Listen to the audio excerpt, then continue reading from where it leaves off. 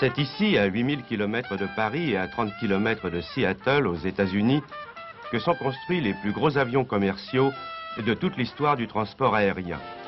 On les appelle les Boeing 747.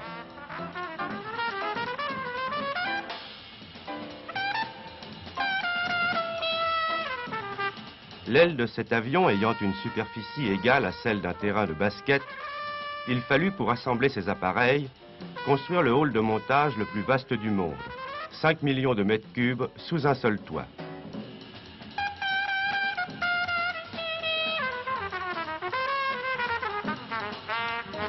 C'est en 1965 que la société Boeing met à l'étude la construction de cet avion géant.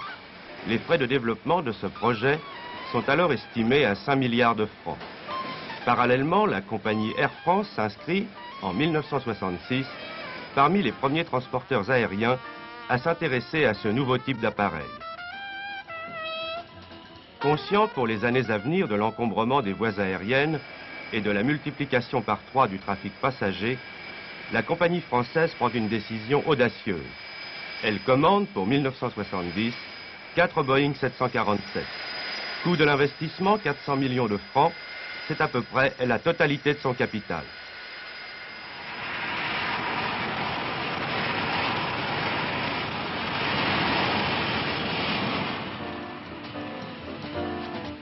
Ce géant de 300 tonnes que nous avons vu s'élever avec tant d'aisance et d'élégance dans les airs est encore plus impressionnant vu de l'intérieur.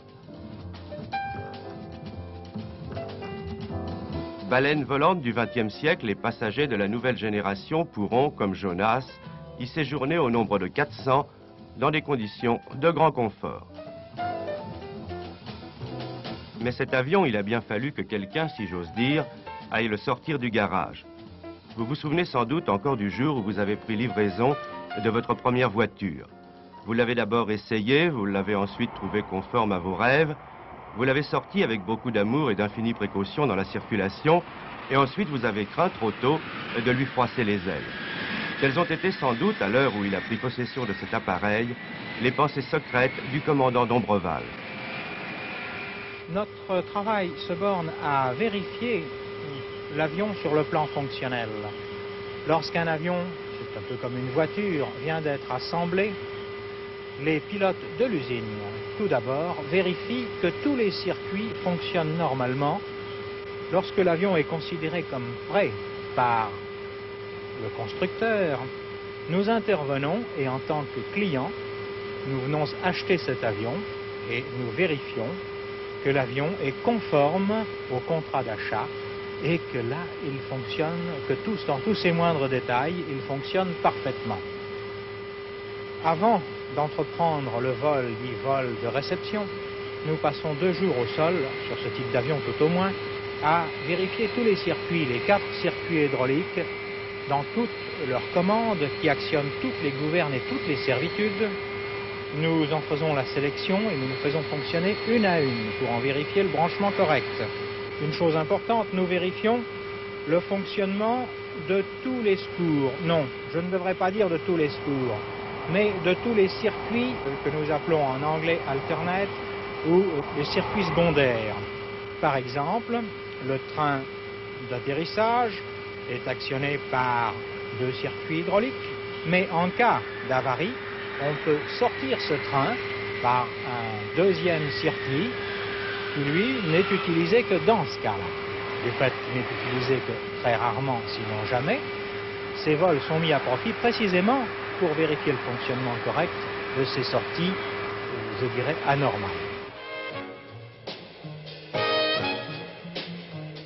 Le commandant d'Ombreval, lorsqu'il s'apprête à quitter Seattle pour Orly, est accompagné du commandant Tardieu et des officiers mécaniciens Le Ginter et Bénard.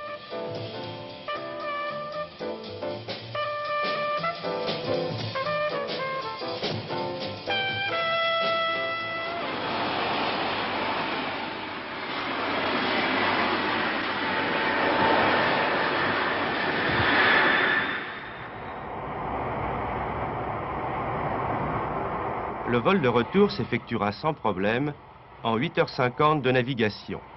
Mais il faut savoir que l'équipage délégué par Air France aux États-Unis est un équipage spécialisé dans les vols de réception et de convoyage.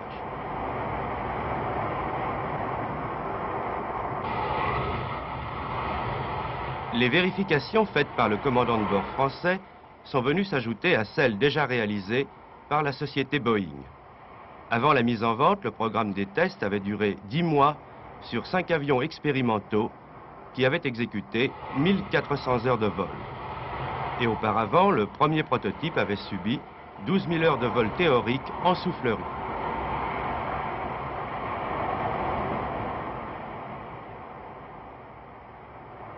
Au retour, tandis qu'une partie de football s'organise à l'intérieur de l'appareil, l'équipage français vérifiera encore la conformité des performances de l'avion en croisière et contrôlera son tableau de marche et sa consommation horaire. L'appareil vient de se poser sur la piste d'Orly, mais il ne sera pas encore mis en exploitation. Des séances d'entraînement doivent avoir lieu à Marignane, près de Marseille.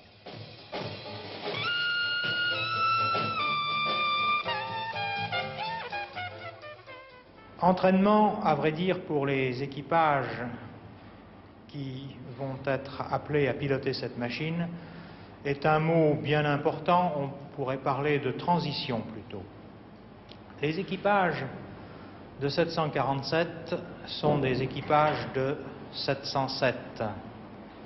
Et pour eux, peu de choses vont changer. L'avion est plus gros, le poste de pilotage est tout en haut, vous l'avez vu. La présence de commandes de gouverne hydraulique amène à être un peu plus souple, la réponse de l'avion étant plus rapide. Il faut euh, s'appliquer à être souple sur les commandes. Pour les mécaniciens, euh, ceux-ci sont déjà familiarisés avec les circuits qu'ils connaissent, un panneau qu'ils connaissent bien, qui est plus grand sur le 747. L'avion est plus complexe, certes, mais vraiment euh, la chose est certainement facile pour eux. Bien entendu, ils ont plus de surveillance, ils ont plus de responsabilité aussi, bien sûr, du fait du volume de la machine, du fait du nombre des circuits.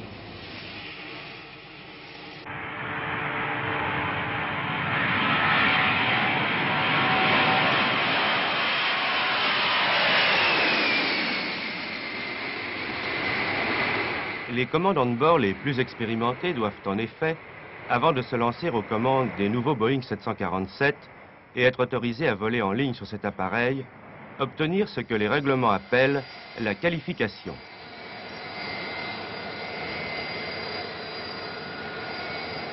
Au cours de ces vols d'entraînement, chaque pilote effectue, de jour comme de nuit, une vingtaine d'atterrissages et de décollages, ou bien se livre à quelques exercices exceptionnels en simulant la panne de divers éléments.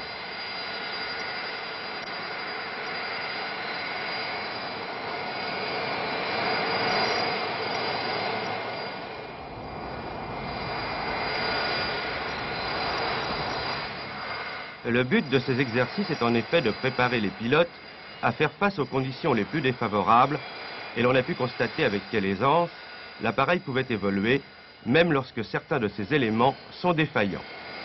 30 équipages seront ainsi préparés pour l'exploitation commerciale en juin des avions gros porteurs.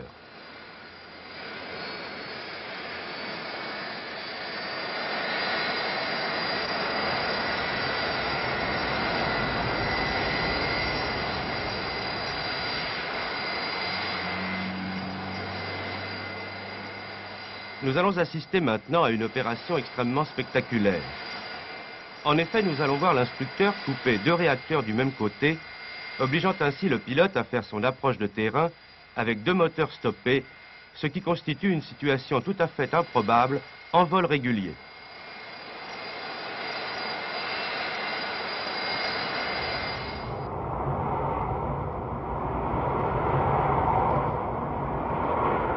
Et eh bien maintenant c'est fait, les deux réacteurs sont coupés.